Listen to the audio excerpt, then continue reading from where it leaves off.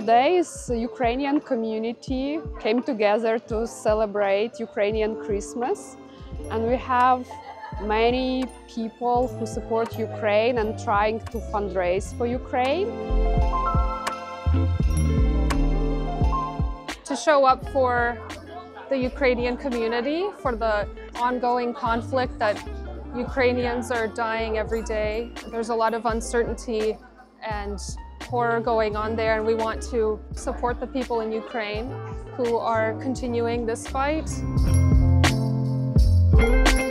For me, it's a really big day because we was preparing for it more than four months and was in an organizing team and I love this team and I'm happy to participate here.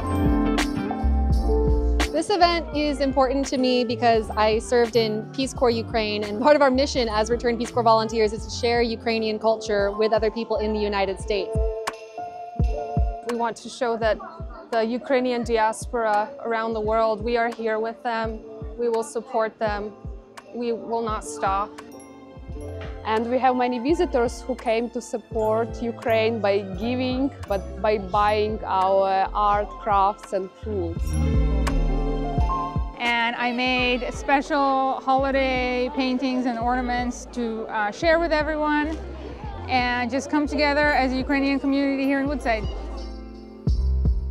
My first time selling my art, so it's especially amazing day for me to finally have this feeling of people enjoying my art.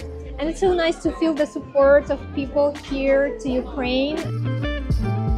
It's a great way for me to represent my culture and also to get reconnected with the community and uh, tell our story. We are all praying for peace.